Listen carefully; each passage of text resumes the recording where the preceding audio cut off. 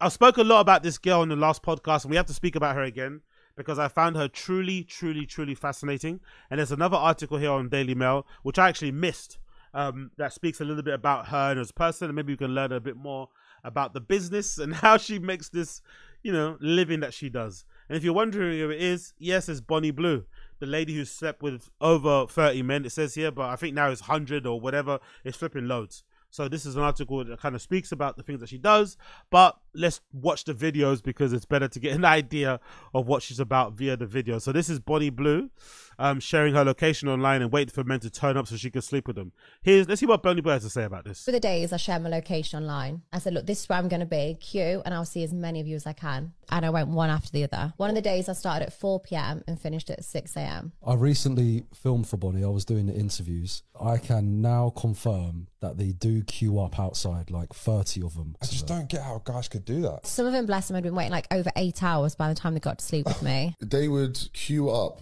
a group of 30 of them. Are you not ever like worried that, you know, you're going to get the wrong kind of guy? Yeah, 100%. But like, my main goal was to pleasure. I, I say the worst experience, and I've been very lucky, it's just been my phone got robbed. So I did a and with 23 guys. Afterwards, like you can imagine the state of the room. Like everything was everywhere. There was condoms, liquids, fluids everywhere. And I, I, noticed my phone had gone, but at this point I was like, oh, it's probably just under some a pack of condoms somewhere. But shortly afterwards, I'd realized it had been taken. And then I was getting blackmailed to say, if you don't pay us money, we're going to release the content on your phone. Like you need to come and get it. And then even you got threatened to say they're going to come take your watch, didn't they? Yeah. The crazy thing is, we all know though, innit? We all know that to be true. Right? We all know that to be true, just based on like regular girls that we know we know regular girls that we all know who are mildly attractive or girls that we're maybe interested in, if they were to put out an open call, like not, not even fucking, just say, hey, I'm at this location. The first 50 guys that come here can take me out on a date. We know they'd get they, they'd get 50 guys, maybe even more, to turn up. So it's a very specific thing for women only. But the fucking thing in being on camera and having over 100 guys turn up, some of them waiting eight hours to smash, they're waiting to smash her like she's a Supreme drop, right? This is like back in the day, Supreme drops, limited limited edition Nike drops. They're queuing outside. she get smashed. It's fucking ridiculous. But then the really funny thing about it is the is the is the cameraman, the filmer. Bless his heart. Imagine the things that he's seen. Imagine the things that her cameraman has seen. The depravity. Imagine the depravity that the cameraman has seen. I, I'd imagine it probably changes his entire idea, worldview of relationships and sex in general. It probably makes him a little bit more, I'd say, less thirsty, seeing the types of men that are doing this sort of stuff and seeing you know socioeconomic level like you know the, the kind of the the variety because i think that that'll be i think that'll be the really interesting part of it see the the variety of men because london is a multicultural city and shit coming from all walks of life, and probably dudes that he probably thinks like would never do this type of thing. That good looking dudes, dudes that look successful, coming and doing this thing. He's probably like raw dead, and then come it changes the way you see yourself. You're like, you know what? I'm never gonna be thirsty again. I'm never gonna do too much. I'm gonna fucking relax, because I can. I, I don't know. I don't know. I don't know. Or maybe you just treat it as a job. You just turn your camera on and keep it moving. You put a, you put a podcast on.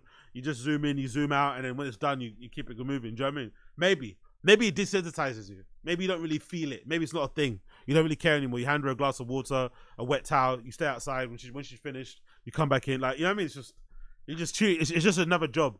Clock in, clock out. God Almighty, mate. Absolutely God Almighty. Um, and then there's one more video I want to show you here before I read the article. Um, we used to go to war. Now we're doing post conference, um, post conferences after hitting. Let's play this one. And what about to all your family members that are queuing out there? Hi. Hi, Family okay. members. Who's going first then? Me, me, me, me. You're going first. Do you want to spend two minutes with me alone or double it and pass it to the next person? So do you want to be nice to your family and give them longer with me or are you going to be selfish and do two minutes? Selfish. You selfish? selfish? Yeah. And what would you do to me in two minutes? Tell me. Are you going to do... Ah! Ah! Ah! Ah! Cringe! Cringe! I'm gonna destroy you. Ah! Men, what are you doing? Somebody think about the men! What the hell are we gonna do without men? Men, what are you doing, men? Oh, you're making us look terrible, men. Oh, oh my God. What are you gonna do to me then? I'm gonna destroy you. Oh, oh, oh my God. I'm cringing. I wish I could die right now.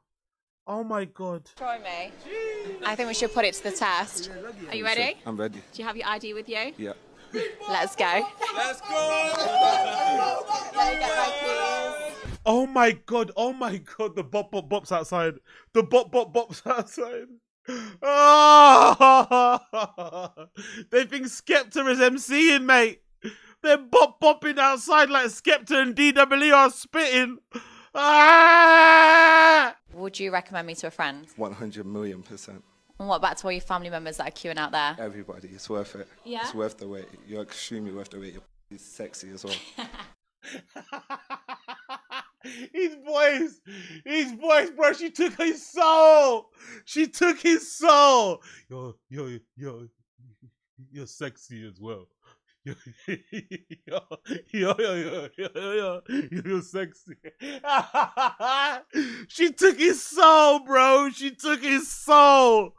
Oh my god, exactly, Charles. We're down bad, so bad. Oh my god. Oh my Did god. Did you manage to destroy me though in those two minutes? Not in the two minutes, but if I had longer with you, you get destroyed. Exactly. He's going to come back and go again. 100%. Thank you.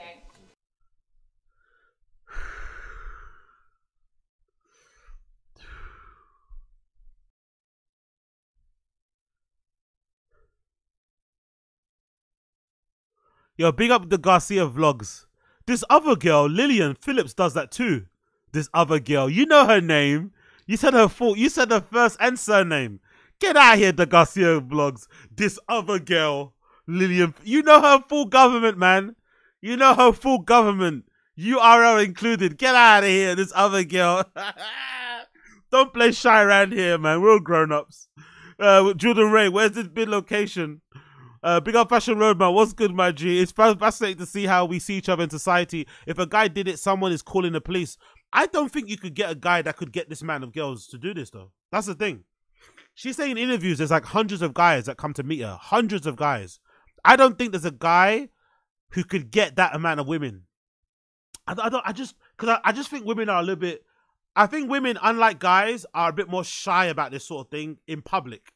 Yeah, they, they get up to madness behind the scenes or behind sorry behind closed doors, but I don't think they'd be willing to do the whole filming thing.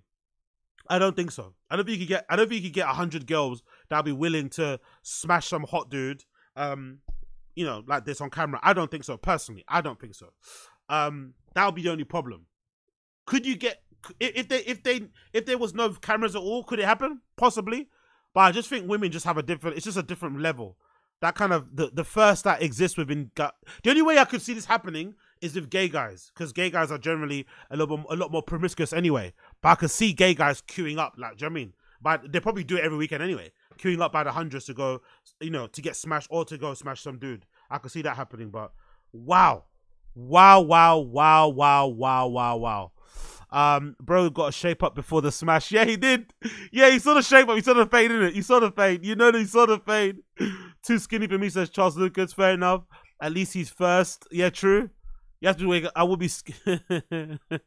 I would be scared to have sex with anyone that had an, sexual partner because to be scared of STDs. Condoms aren't safe. That if that, what if it rips? Yeah, exactly. So, yeah, I'd be too. I would just be. I, I don't think I could get excited in that kind of environment. It's just too much. There's too much stimuli, too much things going on. The filming, the this, the guys outside waiting. It's just too much. I couldn't do it. I don't think I could get. You know what I mean? Like I don't know. Maybe you have to be a lad because all the lads out there going pop pop pop pop pop. Maybe if you're like an Ibiza, Marbella, Dubai guy, you're already used to this kind of group activities anyway. Because you know that's what you do. You go out there to go secure the whores, and maybe the whores out there are enjoy. You know they like that sort of group activity. But for me, I couldn't do it, man. It's just too much. I couldn't do it. I couldn't do it. Yeah, big up Charles Lucas. Even Harry Styles will, will struggle. Honestly, I swear to God, I think Harry, I, like, like try to think. Let's say a conventionally attractive dude. Like think of a Chris Brown. I think there are hundred girls in the UK easily that would love to smash Chris Brown, but they're not going to do it on camera. You know, that's the difference. Would a hundred do? Would a hundred girls come out to smash Chris Brown?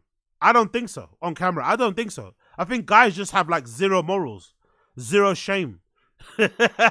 we're just pure and utter heathen. Um, we're just pure and utter um, heathens for pleasure. You know. I honestly, uh, that's it. I only think, only think, only guys could do this. Could kind of have this type of uh lack of shame, whatever. Maybe it's not shame. Maybe they just enjoy themselves. Who knows? Let's read the article. So it says here an adult star who slept with over 100 university students and three granddads during the weekend says that parents should be thanking her. Bonnie Blue, she's 25 years old. Really? That woman is 25. God damn. Don't get me. She looks. She, she doesn't look older, older, but she doesn't look 25. I, I think she was like maybe early 30s. She's 25 years old. Shit. Fair play. I guess. Um, the adult content creator who is originally from Nottingham but lives in the Gold Coast of Australia told fem- uh, female parents should be thanking me. I'm helping their children out. When I'm sleeping with them, it's educational and they walk away with such confidence. Incredibly, Bonnie's own parents are supportive of adventures. My mum went ar- went around the day before after Fresher started, handing out flyers and condoms to students, and said, "Go and and go and bonk my daughter." Well, yeah, I, I don't I don't blame the mum because that's that's her, yes your daughter, innit? You want to make sure she's safe. I completely understand why the mum's doing that. If you're gonna do it anyway, I, I might as well give you a fucking a whole pack of condoms so you don't go crazy and do some nonsense, isn't it? University students bonk me and let me film it. Jesus Christ, bro.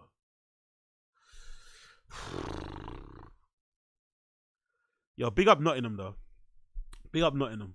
Uh, let's continue. Um, you see, there's a mum making the flyer. You know, apple don't fall far from the tree. Probably. I bet the husband's looking at her like, giving her the side eye while she's filming, while she's while she's coloring in the fly, the little poster thing. Oh Jesus! My dad's got my business card in the back of his phone case. He takes us to the pub with his friends. They found out my career by video being leaked. They said they wouldn't have chosen this for me, but as long as you're happy, they see how happy I am and how much freedom I get financially. Now they love it. My mum wears a top with OnlyFans. My dad always tells people about it. That's the thing about parents, isn't it? Parents are pretty like parents are pretty uh shameless like that too. If you make money and you give them some money, regardless of what you do, they could probably turn a blind eye.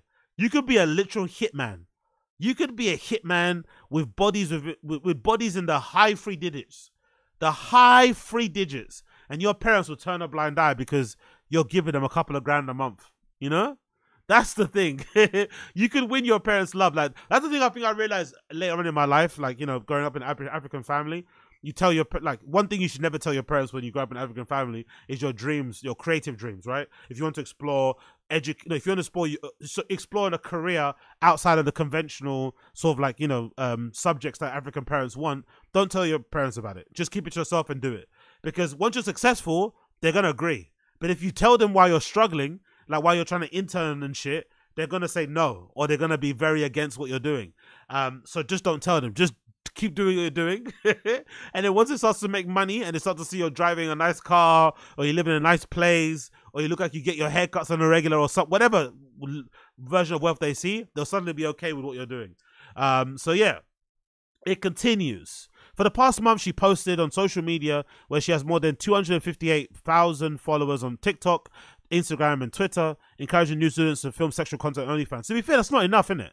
She should have way more followers than that. She has 260,000 followers across Twitter, Twitter, TikTok, and Instagram. Huh. I wonder why she doesn't have more followers than that. I'd, uh, maybe she doesn't make enough content, or maybe because it's all sex stuff. But she should have way more followers than that, given the content she makes. She hopes to earn around 100 500,000 from the videos and requested virgins. Wow.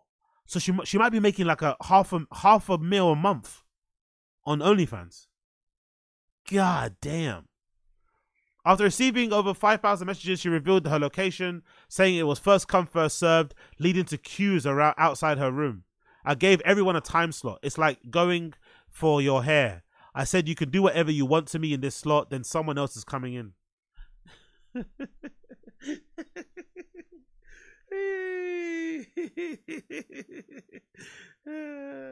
I wonder if she's able to break it down by demographics. I wonder if we should get that kind of data. Like black guys usually do this, white guys usually do this, Asian guys usually. I wonder if she can break it down by demographic or maybe age. That'll be funny. That'll be funny to hear. I'd I'd like to see that data. I'm not gonna lie. oh, Jesus Christ! It continues. Some people take longer because even though I've got a lot of experience in the bedroom, they're so nervous. On the first day, people were given a time, an hour slot, but it, this was later reduced to 20 minutes due to demand. She continued her sex sessions for a second consecutive weekend, targeting students of- across Nottingham. Term started. She had was joined by adult film star Philly, no Lily Phillips. Sorry, big up uh, the Garcia vlogs. He knows her. Uh, Lily Phillips, who was more than 560,000 followers on Instagram and TikTok. Of the first weekends, she slept with six, 73 people. The next weekend, she followed it up with 37, including 23 men without a break. She had four partners on Saturday before taking Sunday off to recover. She claims her sex marathons are, display, are, are to dispel myths produced by porn. If you're a virgin or new to sex, there's nothing for you. You watch porn stars with massive penises and bodies, and average person is not like that. It's not helping them. When you watch a movie, if you can relate to that person, you can connect a lot better. what? What's she, what's this girl waffling about? what's this girl waffling about? What? Hold on, let's read that again. What the fuck's she talking about? If you're if you're a virgin or new to sex, there's nothing for you. You watch porn stars with massive penises and bodies, and the average person is not like that. It's not helping them. When you watch a movie, if you can relate to the person, you can connect to, uh, with them a lot better. So I thought there's no better way for me to make content than to have sex with virgins or groups of new friends or just the average day person. I guess. I guess. Bonnie first went viral after filming X-rated content with Australian school leavers last year. She was criticized for sleeping with 22 American college students in one night during a spring break in Cancun, Mexico. In March, but broke her record by bedding 37 people on Friday, while she slept with 30 men on the previous Saturday. The boys in the UK have a bit more are a bit have been a bit more stiff. I don't know if they're more nervous. I told you we live in a puritanical country, man. Catholic Catholicism runs rampant a lot of those guys are bang, are, are banging her with, with mad guilt, mad guilt and regret. They can't let loose. Responding to accusations of predatory behavior by targeting young men, she said, "If people want to think that an 18-year-old doesn't want to sleep with a porn star, then they really got to get out under their rock." When 18-year-olds are having sex, it's usually unprotected, and it's never that good of an experience because the girls are inexperienced too. I have a video of them, and they clearly are enjoying it. Bonnie checks her partner's IDs to confirm they're 18, and they must sign a form consenting to be filmed, and they must also wear a condom. There is no set person. As an 18 year old, some people are confident, shy, some are insecure. Yet you get some who say, Come on, Bonnie, I'm going to show you a good time. And then you have others who are holding their IDs up and shaking are nervous. Not only students are involved. After the, the first person, I went downstairs thinking I'd go to a city centre to find people, and there was a queue of hundreds of people waiting. It was mostly students, but there was a group of granddads. The oldest was 71. One was retired. He heard about me from his grandson. oh, they have to be Mundeles. They have to be Mundeles. They have to be Mundeles. They have to be Mundeles. They have to be Mundeles. Granddad and grandson discussing. Oh, yeah, yeah, yeah. Yeah, they have to be Mundeles. Have to be. Have to be. God almighty. Um, the people who turn up might look weird or be weird to some people, um, but I'm happy to pleasure anyone. There's been no bad boys so far. Bonnie wants to visit Manchester or London for Freshers Week next year. 100% I will. Or the numbers will be through the roof.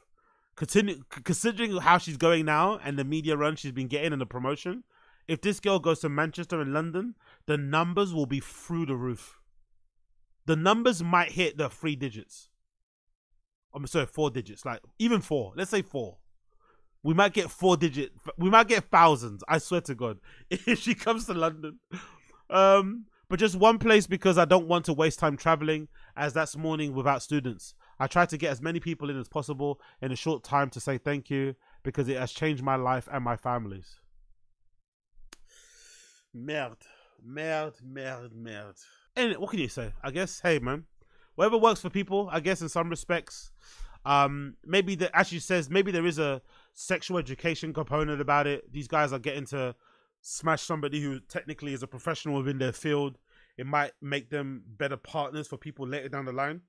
Right, who knows in that regard? Um, it might also make them practice stuff like safe sex because if someone like that is getting you to use a condom, it might make you more likely to use one. I don't think so personally, right? The whole point of going to a fucking university is to, you know, graduate and get a degree and also potentially catch of STDs. Um, so I don't think a lot of guys are gonna really take that lesson to heed or, or you know, use it and whatever. But you know, more power to the girl. More power to the girl. Like I said, um, I just find it funny because people love to talk how they're pro sex work, but then when they see what actual sex work is, like this is the reality of it. Really, really reality of it. Especially if you, think of girls who like work in brothels or, or are prostitutes or work as higher class escorts. This is the type of numbers they're putting up. What do you think? You know what I mean? This is the type of numbers they're putting, especially if they're good at what they do, especially if they're attractive. Their numbers are getting passed around. They're getting recommended. Like these are numbers that they're putting up. So more power to her. More power to the people involved. If they're happy and they're safe doing what they're doing, what can we do? Absolutely nada. So more power to these people. More power to these people. What else can you say? Can't really say nothing. Is Corn good? You guys give the, a good performance? Is the Corn? I, I don't know. I, I I've never watched it. I've never. I'm proud to say I've never ever subscribed to OnlyFans.